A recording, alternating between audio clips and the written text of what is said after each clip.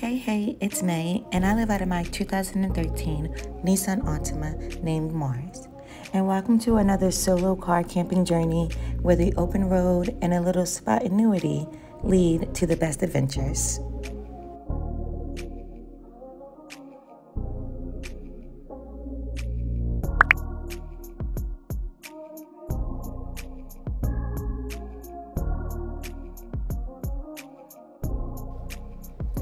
This trip started at Waukegan Municipal Beach in Illinois, a peaceful spot where it was just me and my dog Piper. I decided to sleep under the stars here, waking up to the sound of waves and the cool morning air.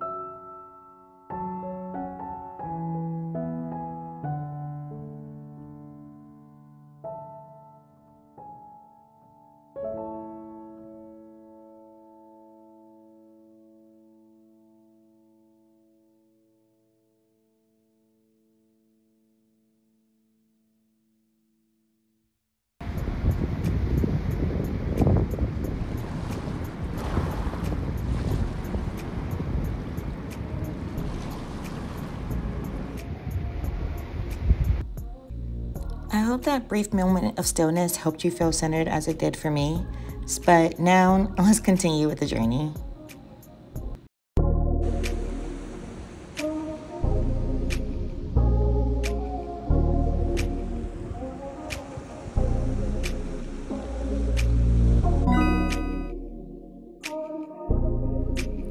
Sometimes the best adventures are the unplanned ones. On my way out of town, I made a spur of the moment stop at the Chicago Botanic Gardens. If you've never been here, it's a living museum with 385 acres of beautiful, curated gardens, woodlands, and even a Japanese garden with a Zen like vibe.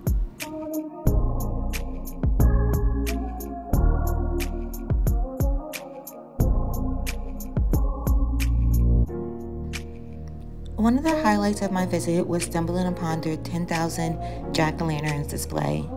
This seasonal event transforms the gardens into a magical, glowing wonderland with hand carved pumpkins in all shapes and sizes. It's an unforgettable experience that combines art, nature, and a touch of Halloween spirit.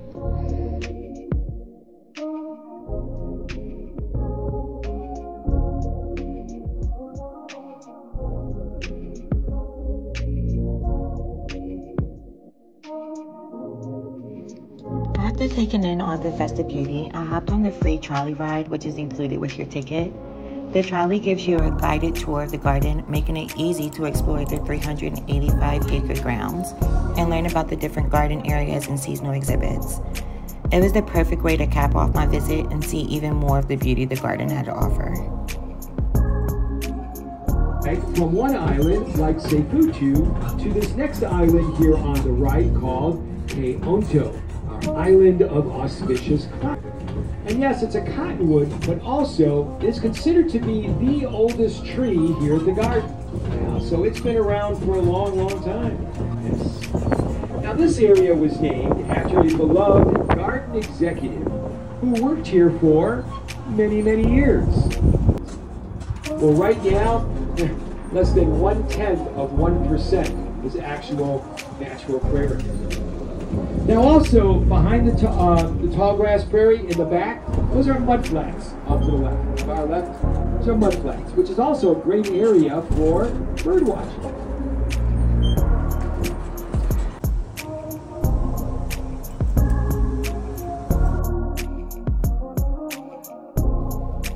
This stop wasn't in my original plan, but that's the beauty of solo trips. You can take your time and follow wherever the road leads.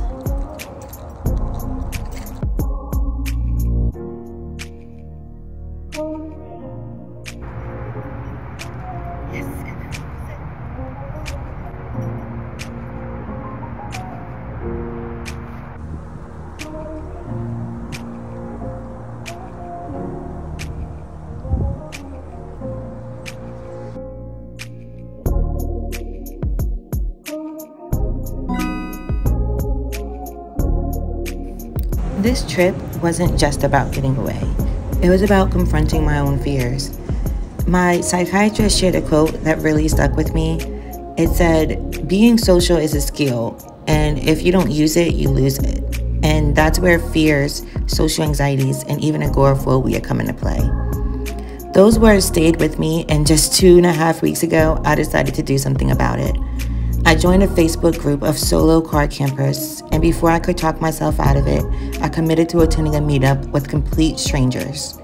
It was a whirlwind decision, but I knew it was time to push myself out of my comfort zone.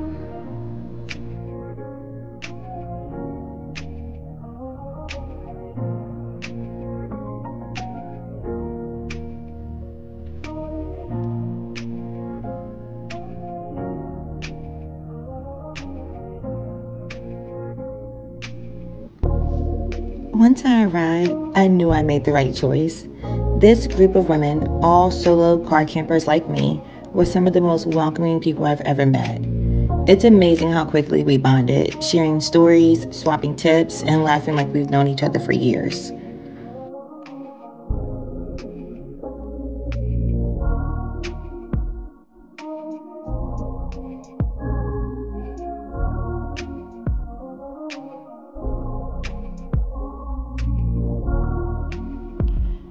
We spent time around the fire and went on a beautiful hike the next day with the light up lanterns.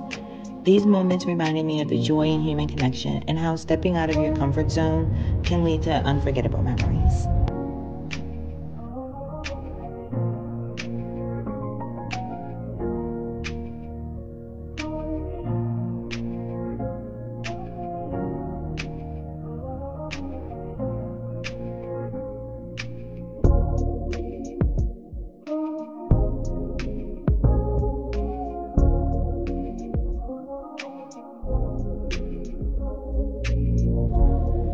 One of my favorite parts of the meetup was the impromptu crafting session we did. It was such a relaxing and fun way to spend time together. We carved wood hoods, drew, made keychains, and even crocheted a bit. I also worked on a practical project, which was making my blackout privacy covers for the small window in the back of my car. It was a simple yet satisfying way to make my space feel more secure and comfortable.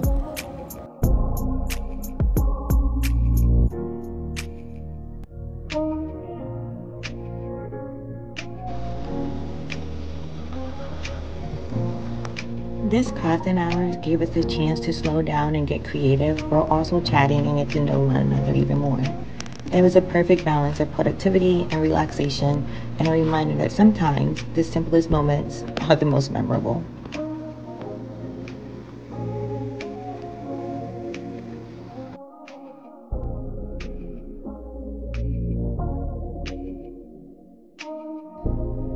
After our crafting session, we all gathered for a car tour.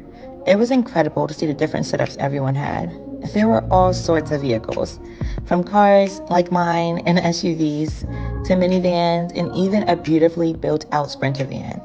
It was so inspiring to see the different ways each person had made their car camping experience unique, whether through clever organization or personalized touches.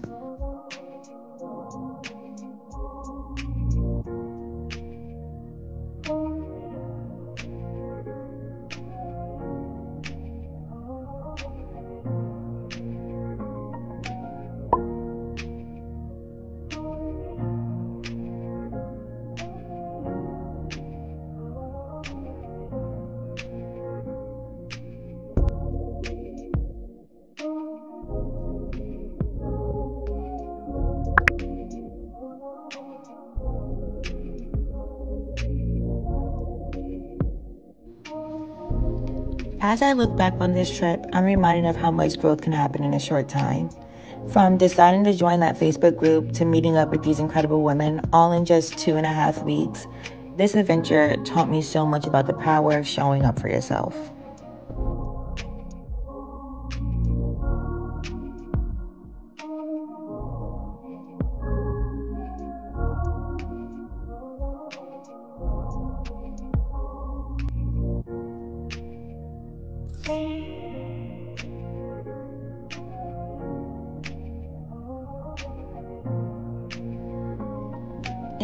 You know, my psychiatrist is right. Being social is a skill, and this trip was my way of practicing it. If you've been hesitating to take the step, whether it's a solo trip or even joining a group, I hope this video inspires you to go for it. The rewards are always worth the risk. Thank you guys so, so much as always for joining me on this journey. And don't forget to like, comment, and subscribe for more solo car camping adventures. And as always, I will see you on the road. Bye.